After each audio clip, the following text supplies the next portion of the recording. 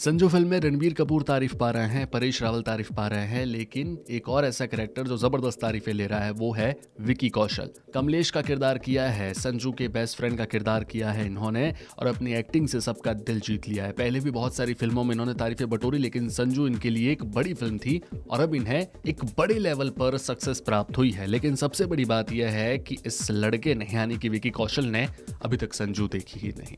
जी हाँ खुद विकी कौशल ने माना है कि उन्होंने अब तक संजू फ़िल्म देखी नहीं, पर उसके पीछे का रीजन भी जान लीजिए। नमस्कार, मैं हूँ अभिषेक, स्वागत है आप सभी का हमारे चैनल पर। Actor Vicky Kaushal film industry का उभरता हुआ सितारा है। फ़िल्म संजू, उनके करियर की सबसे सफल फ़िल्मों में से एक है।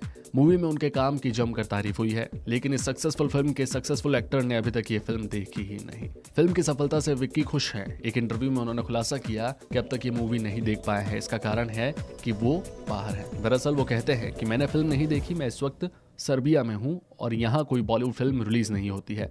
इसलिए मैं मूवी देख नहीं पाया हूँ। बता दें कि विकी सर्बिया में अपनी अपकमिंग फ़िल्म उरी की शूटिंग में बिज़ी हैं। ये मूवी भारत द्वारा पाकिस्तान के खिलाफ किए गए सर्जिकल स्ट्राइक पर बेस्ड है।